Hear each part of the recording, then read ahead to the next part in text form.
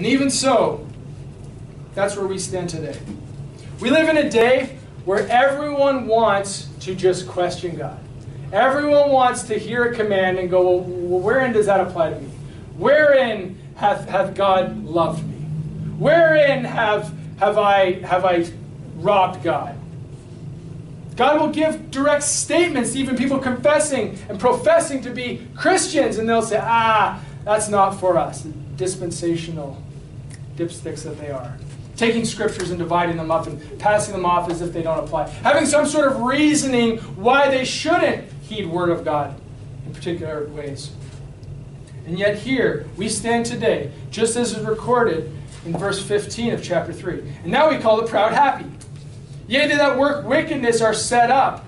Yea, they that tempt God are even delivered. And do we not live in a day where those that are proud, you know, the pride that marches up and down the streets, the, the pride that's waved in your face is some sort of some sort of rainbow stealing the sign of God. The pride that's entering your schools, entering your workplace, that same mentality. And what, what did they call it in these days? They called the proud happy. It's another word for happy. Okay. The book of Malachi was written at a time just before the revelation of God was to cease for 400 years. And at this time, the people were calling the proud gay. Instead of wicked, filthy, disgusting, all the things that the Bible would call them. Right. Right? And we're in a day just like that. And the same people are crying out, everyone's good in their own minds. He's a little good, he's a little good. We're all good people. I'm a good person.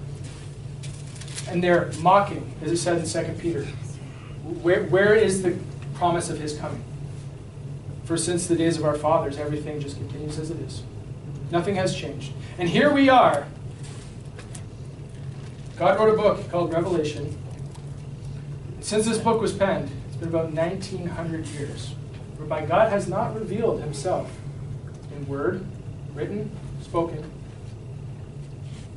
So, do you think there's something here in the book of Malachi that we can learn from? Do you think we can see that there is the same type of mentality happening then as it happened now? Can we not apply these truths? When God says, I loved you, we should say, Yeah, yeah, Lord, you have. Instead of purloining and fighting against him and saying, Nah, where have you loved us? You haven't loved us. The proud are happy. Every man does what's right in his own sight. We live in a time, and God is about to say, Time is enough.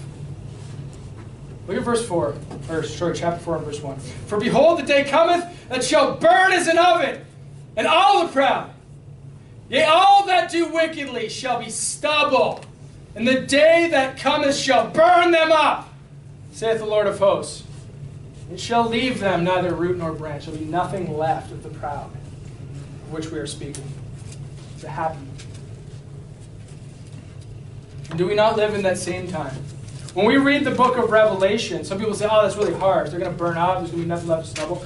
Read the book of Revelation. Again, we are in a window whereby God has revealed himself, but he is coming again. And the same promises that you read about here, where behold, I said before Elijah the prophet before the coming of the great and dreadful day of the Lord, and he shall turn the heart of the fathers to the children, and the heart of the children of the fathers as they come and smite the earth with a curse. That same action, that same activity was fulfilled when Christ came, but he has promised similar things. Behold, what does he send? The man of sin be revealed. What does God send? Wars, rumors of wars. What does God send? Signs and wonders. The sun and moon being darkened before the coming of the great and dreadful day of the Lord. He has given the same thing a sign for us to realize that God is coming again, and when he cometh, verse 1 shall be fulfilled. The proud, they all that do wickedly, shall be burned up. No root, no branch even left. There is great hurt coming to this world. Amen? Amen. There is great suffering, pain, and anguish coming to this world. But we have the opportunity not fight what God says, not constantly question what God says. We want to be servants of God. Well, I'm exhorting servants to be obedient unto their own masters and to please them well in all things, not answering again. We have the ability and the opportunity to meet together often.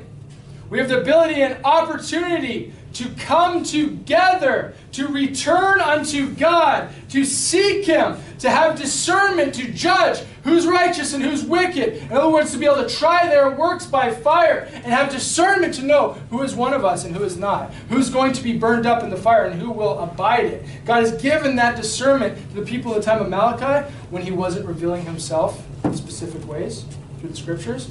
He's given us, I believe, that same opportunity. So while there's great hurt coming to this world, let's choose rather to be of them that don't receive hurt, but receive healing.